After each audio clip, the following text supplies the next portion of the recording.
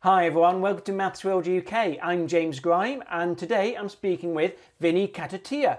Vinay is a maths educator here in the UK and he's going to show us a different way of representing numbers. He's going to show us how to represent numbers using a pair of shoelaces. It's kind of unusual and I think you're going to enjoy it.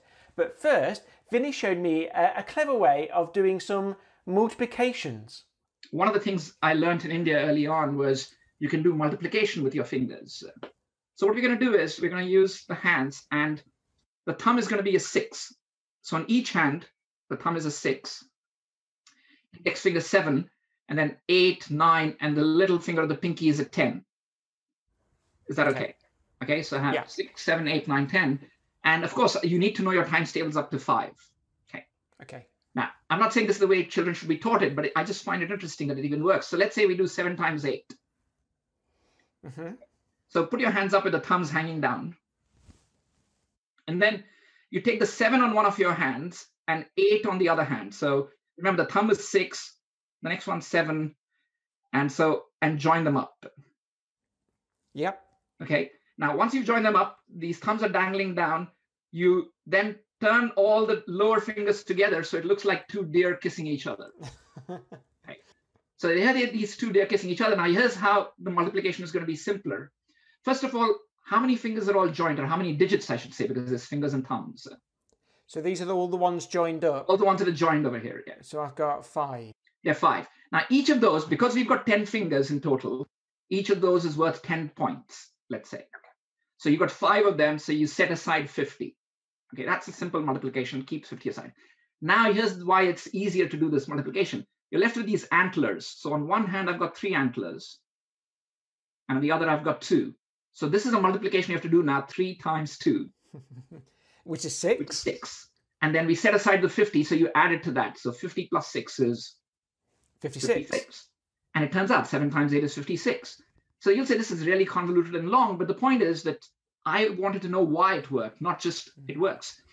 And that's one of the lovely things I like about mathematics. I mean, again, to use a fancy word, we can mathematize. So it's not just finding one instance, but recognizing it's part of a pattern.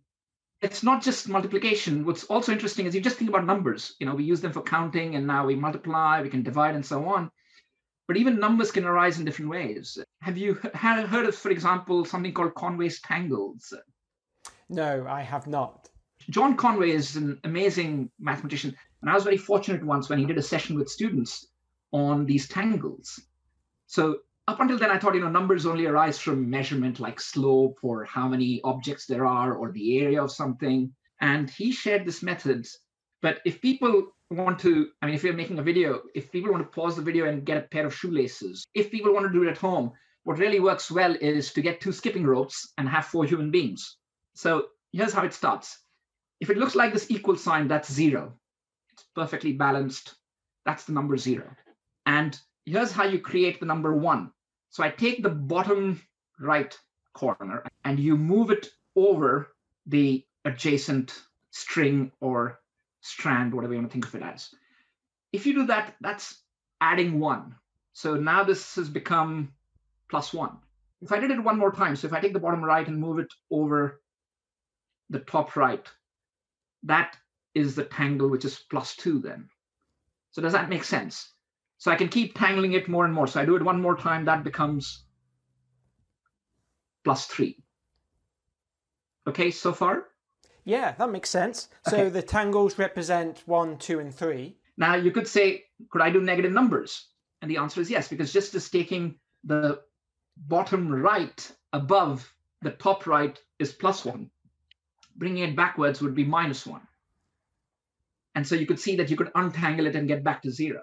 I found amazing is that here's this other move, which is suppose you rotate everything 90 degrees anti-clockwise. So I just took my original thing and I rotated it anti-clockwise. Mathematically, the move takes a number x to minus 1 over x.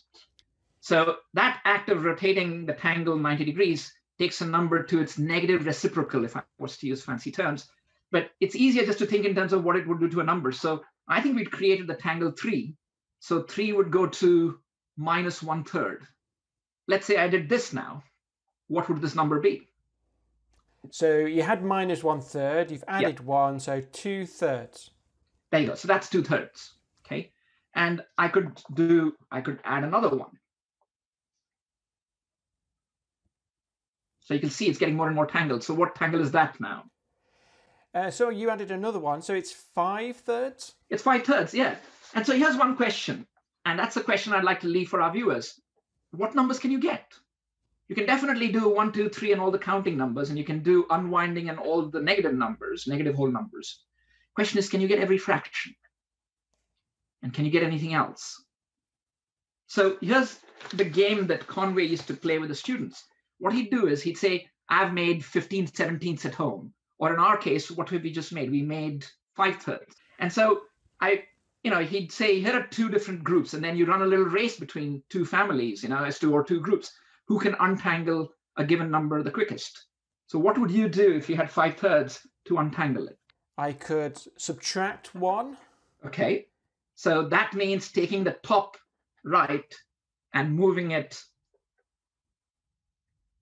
Okay. So subtract one. So five thirds take away one is two thirds. And then I'm going to subtract one again. So that is two thirds minus one. That's negative a third. Then I'm going to rotate it to get three. So that would become three. And then I can subtract and subtract and subtract. So I'll, I'll need to keep track of this. So that's minus one, and then another minus one, and another minus one. So it looks like it's got a bit more tangled, but if you've done the maths, or if I've done the moves correctly, you know, I don't doubt your maths, then, so here's what you do. If you're at home and playing it, you just pull a little bit, and lo and behold, you've got the zero.